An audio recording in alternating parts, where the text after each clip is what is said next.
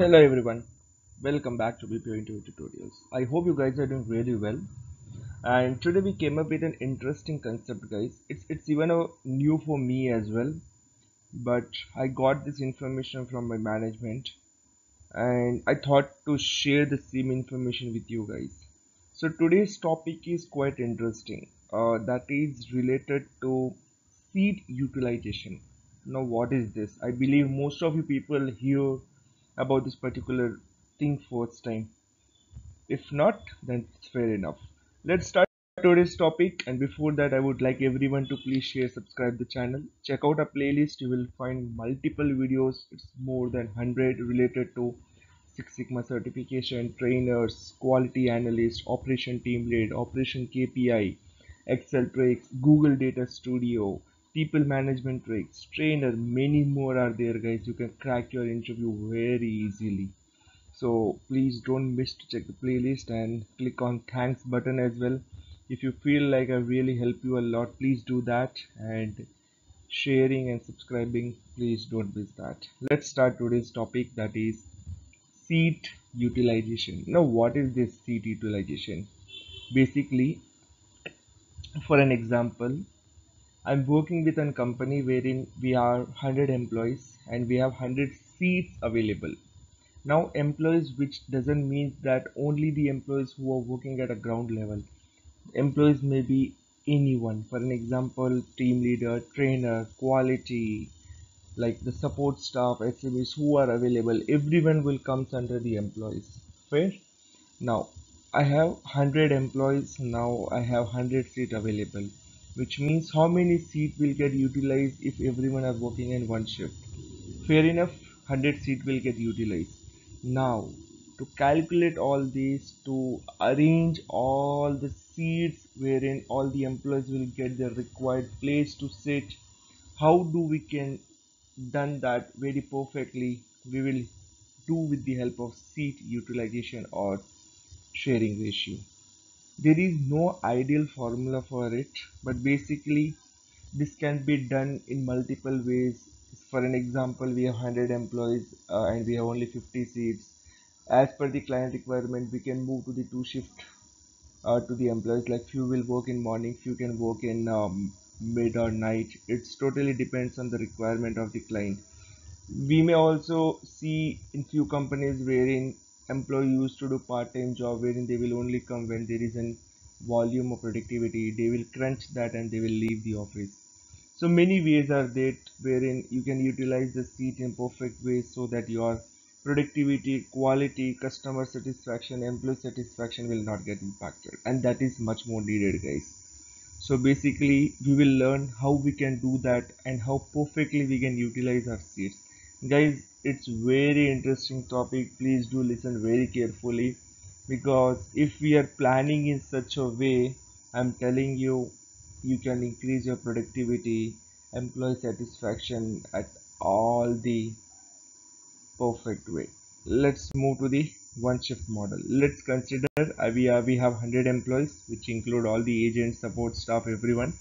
And we have 100 seats available fair enough guys. We can utilize our seats like one is to one. Everyone will get a exact seat there. Now what drawbacks we may get if we are in a one shift?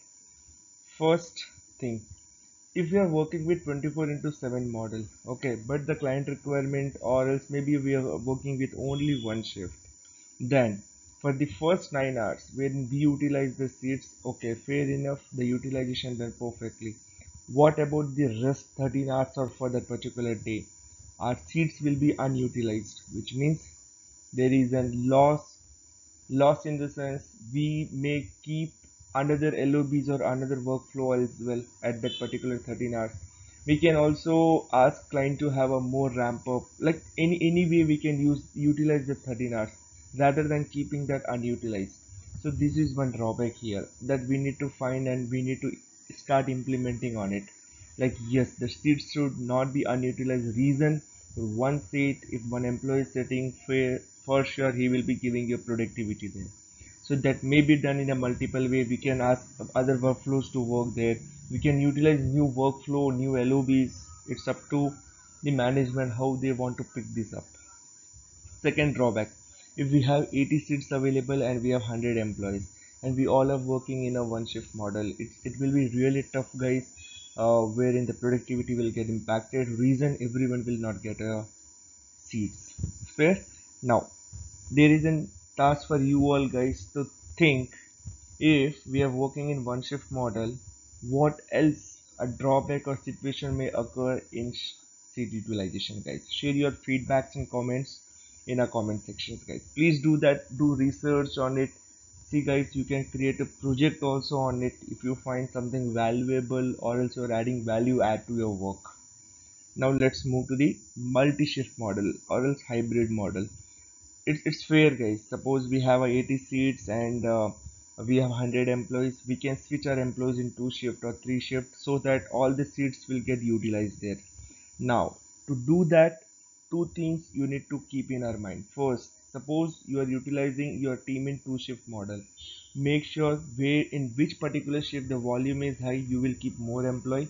Where the volume is low you will keep the lesser employees there. It's totally on you guys how you, you need to see the pattern of the volumes what you are getting out. This is the one. Now doing this for sure you will get a benefit in terms of productivity quality employee satisfaction. Everyone feels really happy now there will be one question in your mind. If we are moving in one shift at a one time only the power or electricity will be used. If we are moving in two shift for the entire 24 hours the electricity will be used. Completely agree to your point but that is a value enabler to get our productivity more perfectly.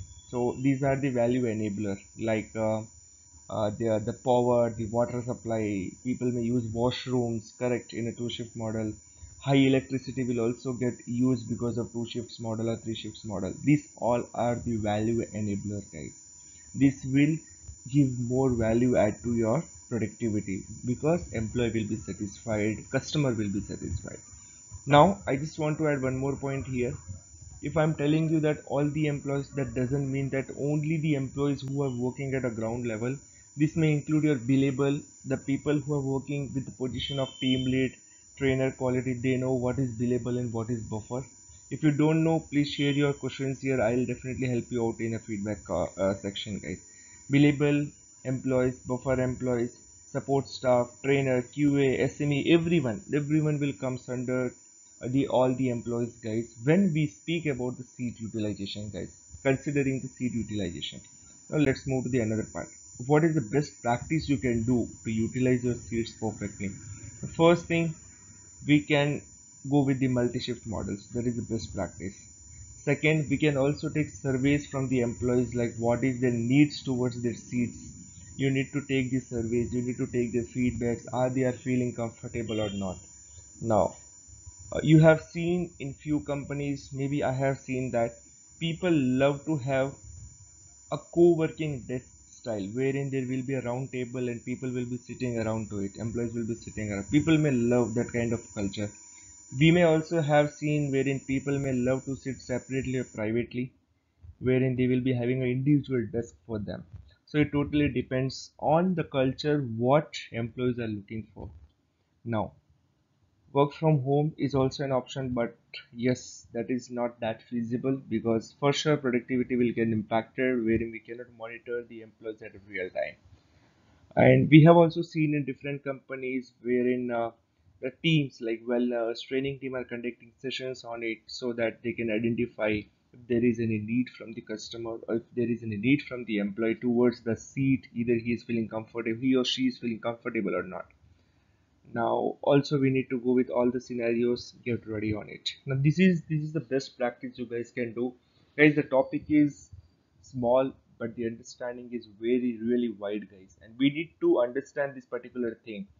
Uh, if the seat utilization is not perfect for sure it will look like you are standing in a crowded area which doesn't create a corporate culture. Now let's move to the calculating the employee to seat ratio. Now guys see there is no exact formula for it but yes you can you can consider like uh, uh, 100 seats available and uh, 100 employees are there. Yes one is to one ratio. It's a basic calculation we can do but at a ground level you guys also need to think in a different way. Let's follow few steps for it. The first steps calculate your minimum office occupancy and maximum of, uh, office occupancy. Now what is this? First always understand go to do a round of walk towards your office and check out the cabins like how many space is utilized how many space is vacant. Either the different workflows suppose you're working with a calling process there are chat process and there is also an email process. All the three processes are occupying the exact space is there is any wastage of space or not? You need to check it out guys.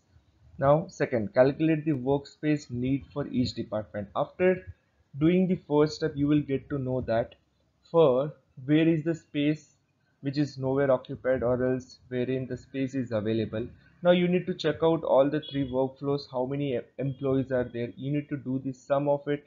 You need to check how many seats you require. On the basis of that you can arrange your space now what the next third step?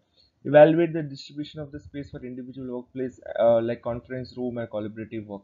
So totally depend guys how you need to utilize your workspace. For an example see it's not something always you will go with the employee level. You should also require some meeting rooms. You will also require a space for washrooms. Like like everything you need to take care of it whenever we are thinking about the seat utilization.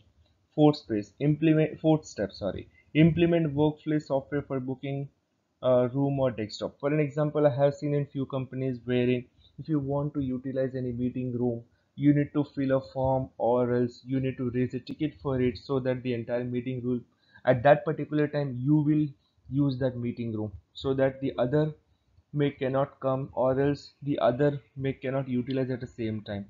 So this is also a culture that need to be followed. Reason everyone will get equal space to utilize at their correct particular time. Fifth step continuous monitoring is required. That is much needed.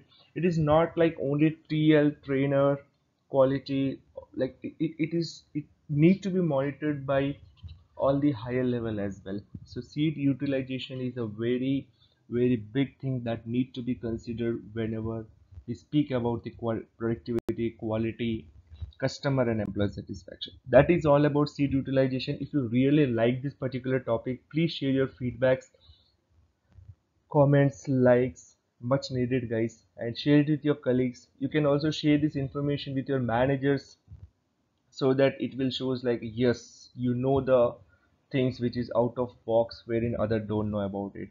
Please do share this information with everyone that everyone should learn the new things and check out our playlist to get more videos. Don't miss to subscribe. Thanks a lot guys. Have a great day